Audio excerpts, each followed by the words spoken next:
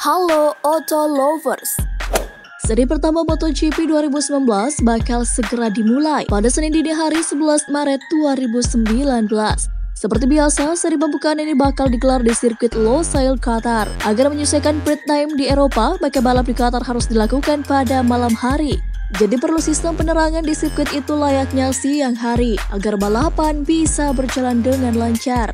Nah berikut adalah fakta menarik dari megah dan hebatnya sistem penerangan di sirkuit Losail Qatar. Tapi tunggu dulu Auto Lovers untuk mendapatkan informasi terbaru dan menarik lainnya pastikan untuk mengklik subscribe dan like tentunya. Total daya listrik yang dibutuhkan untuk menerangi sirkuit Losail adalah 13 MW. Dibutuhkan 44 generator sebagai pembangkit daya listrik lampunya. Ada 3.600 bola lampu untuk menerangi sirkuit Losail. Dibutuhkan instalasi kabel lampu sepanjang 500 km. Cahaya yang menyinari sirkuit setara untuk menyinari 70 lapangan sepak bola. 3.000 rumah bisa diterangi dari daya listrik sirkuit Losail.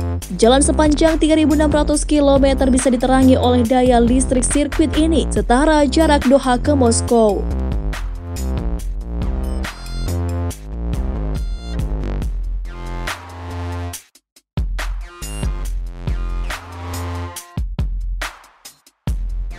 Terima kasih sudah menonton, jangan lupa klik tombol subscribe di bawah video ini guys. Like and share video ini ke teman-teman oto maniak Anda. Dan satu lagi guys, gak ada ruginya untuk mengaktifkan lonceng notifikasi kalian agar bisa mendapatkan video terbaru dari kami. Jangan lupa tinggalkan opini Anda agar kami dapat selalu berbagi informasi yang bermanfaat. Oke, okay?